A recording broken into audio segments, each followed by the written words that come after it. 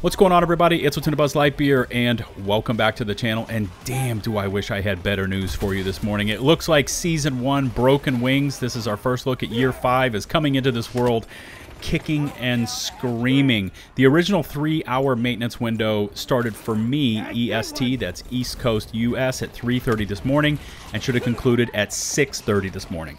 Then we got a tweet from the division team that maintenance has been extended by approximately three hours, so that would have taken it from 6:30 up to 9:30 EST.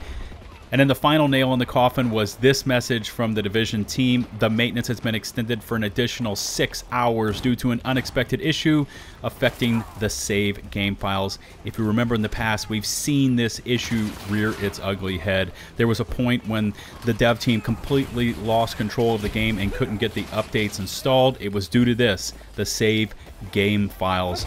They continue on. Our team is actively working to resolve this matter as quickly as possible. We apologize for any inconvenience caused, and we'll keep you updated on the progress. On a personal note, I'm gutted for anyone that took the day off to try and play the new content. You see what I did with my time. I booted up Battlefield 2042, and they, for some reason, gave me a ballistic shield, an assault rifle, and a ton of C5, and I had a blast. But as the updates become available, I'm tweeting up a storm over there, and I will update my community tab on my channel. Best of luck, fingers crossed, but I think we're still looking at hours upon hours before we see anything of this new content for the Division 2 today.